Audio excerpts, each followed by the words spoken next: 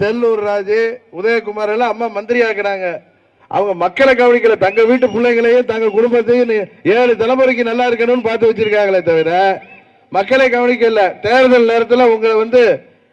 பணம் கொடுத்து வாங்கிடலான்னு ஐயாயிரம் பத்தாயிரத்துக்கு விலை பேச வருவாங்க தேர்தலில் புறக்கணிக்க வேண்டும்